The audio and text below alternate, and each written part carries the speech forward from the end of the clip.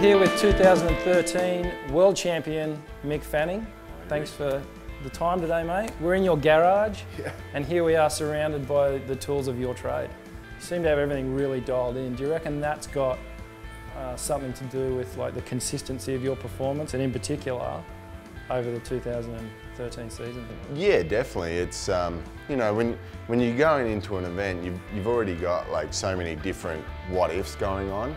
So if you can eliminate what if your boards aren't right or what if your fins aren't right, working on your equipment, you know that's that's our biggest thing. If if it's not our body, then it's our equipment. So this is the system that you were, you guys were pretty much trialing this towards the end of 2012. So how did it feel? It felt it felt great, you know. I had half and half, so I had, you know, the old FCS one system, and then and half of my boards in this new prototype system, and I was lucky enough the boards that I had in this system were actually the good ones.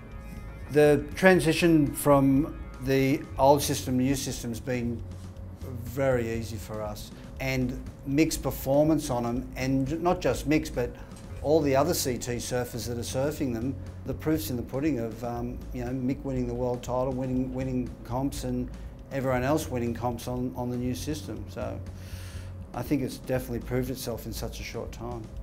A majority of it is, yeah, it's been work over time, and um, you know, you also do throw in fun boards and you know different things, try new things, but for your core, you know, contest equipment, everything is really consistent across the board. Um, they're all 26.26 um, and they're all 5'11", 18 3 quarters, 2 and a quarter. And all I do is change the tail a little bit, move the fins up and down sometimes, but very slightly. Lately we've been thinning the nose out so it's a little bit more whippier and, and he can get that nose in. When you need, someone gives you something new and you, you know that the old system worked perfectly and you're like, oh, well, why are we changing? It's, it's already so good. And then um, from the very first surf I rode this fin in that system, I was, I was hooked. I was like, can I have a thousand of them? With the plugs actually sunken into the foam and under the glass and they're all connected too. So it just, it just yeah, the, the whole back end of your board is so much more solid. As I, as I said, like everything, everything just worked really well going into the, the back end of the year. Um, you know, this, this setup is something that I've, I'm so used to. Uh, going in Hawaii, had the, the tri-quad set up in the FCS2 system.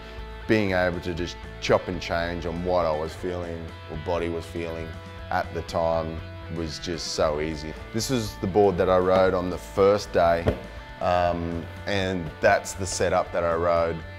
If you, if you started drifting a little bit on the foam ball, for some reason the quads just seemed to just lock in and just accelerate off the foam ball.